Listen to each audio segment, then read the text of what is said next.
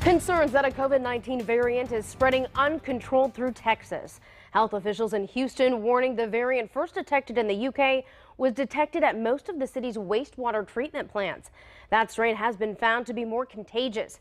Now this comes at a time that Texas is lifting pandemic restrictions. Starting this week, the state's governor is lifting the mask mandate.